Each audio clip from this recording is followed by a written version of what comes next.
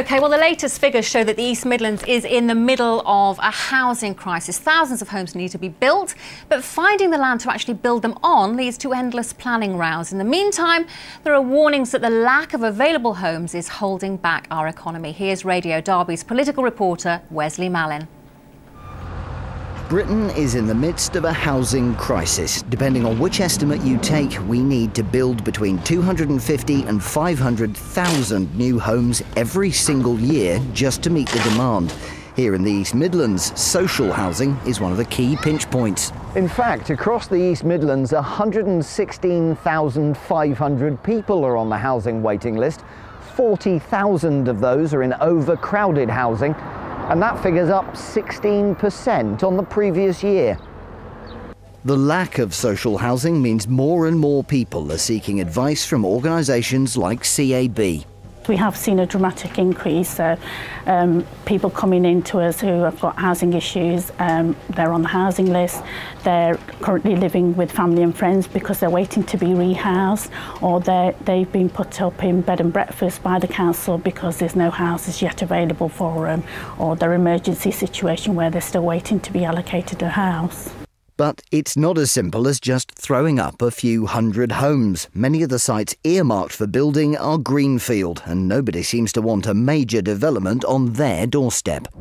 This land on the outskirts of Alfreton has been the subject of many unsuccessful planning applications over the years, but now Amber Valley Borough Council have been pretty much forced to grant outline planning permission for several hundred homes on this site.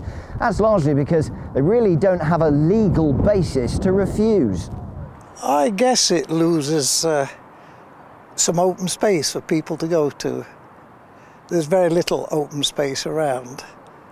It's a shame. There's a lot. There's not a lot of green in Alfreton now, apart from here and the park. They're the two biggest green pieces left. And if this goes, 500 houses. Meanwhile, the over-occupancy surcharge, or what Labour calls the bedroom tax, is pushing up demand for one-bedroom properties. It is going to have a knock-on effect, and it's only just beginning to begin now where people are coming in and coming to me and saying we are struggling financially, so I think it is going to get worse. Well, we're joined now by Chris Hobson, who's the East Midlands chair of the National Housing Federation, which represents housing associations. Chris, how acute is this problem? It's very acute, I'm afraid. In the East Midlands each year we have 22,000 new households being produced. Now last year we built just over 9,000 new homes, so that's less than 45% of the actual new homes coming forward to meet the new, the new need. Um, and so the result, we've seen some result in that short film, but you also have in some areas people being priced out of, uh, of buying a home, you have rising, um, rising private rented sector, and so it's really putting a real squeeze on people's finances. Okay, well we saw in, in our film there that site in Amber Valley, but we know that there are nine 97 brownfield sites in that area. The Campaign to Protect Rural England says there's plenty of space out there to build on already. I think so. We need more houses, but we need them in the right places. In my constituency, we've got more houses than anything else. Uh, but there are lots of places, brownfield sites, and I think the government should do a couple of things. Firstly, restore the cut to the grant that was given to build houses, been cut by more than half under this government. The second thing is get rid of this bedroom tax. What on earth is the point of pushing people out onto the housing market when there aren't homes for single people or for uh, elderly couples? Those are the housing uh, needs of this society. We need to build some of those uh, homes and you can only do that by getting the housing grant restored and what that does for you is help build the economy as well. Construction workers, bricklayers, plasterers, yeah. get our economy Okay, well, moving. Julia, your party's in government and they are committed to building tens of thousands of new homes. Where are they all going to go? Where are you going to put them? Well, uh, Graham says it's important where they go.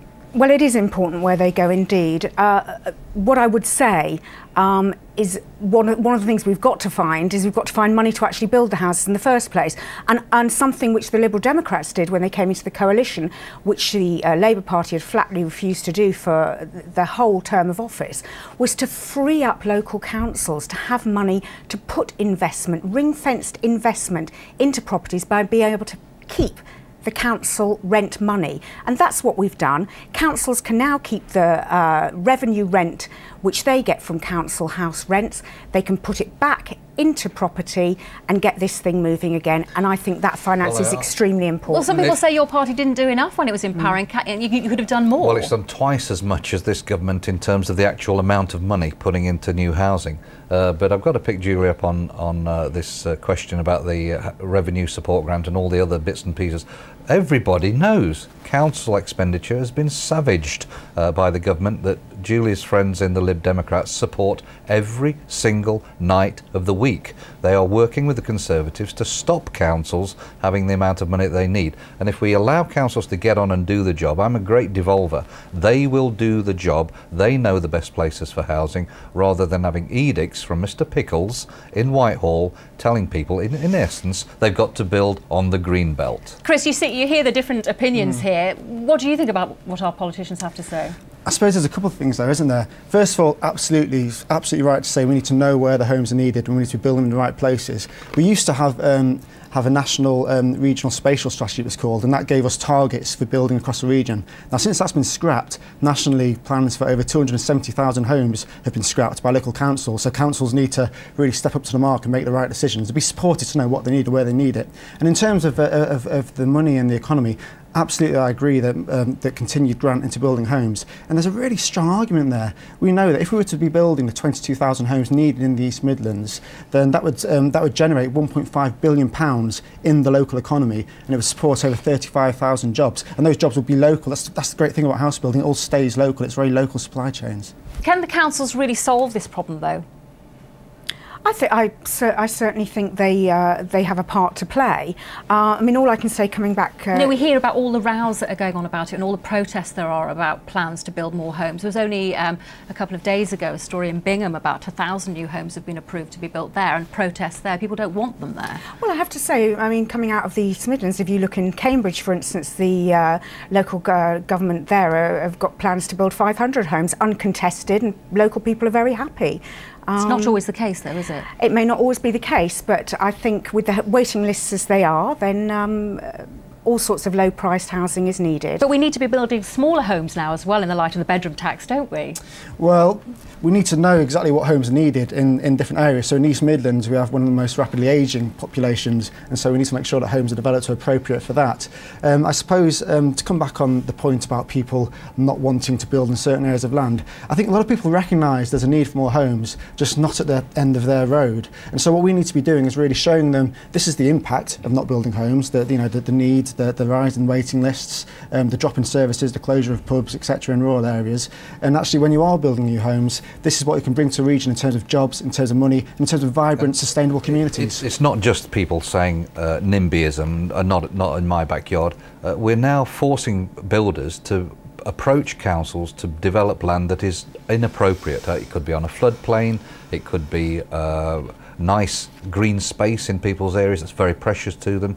There's a stress and pressure now coming on. We should leave this stuff to local councils, duly elected by local people, to fill a particular space and a particular gap in the market. And at the moment, what we're having is we're pressing councils because they've abolished the spatial strategies. We're pressing them at national, or uh, the government is pressing them from national level, Okay. wholly inappropriately to meet ridiculous targets, and that's why people Okay, are well, we'll screaming. have to leave it there. Chris thanks very much indeed for joining us in the studio.